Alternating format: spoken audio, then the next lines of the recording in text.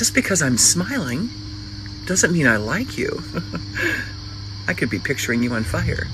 You just never know.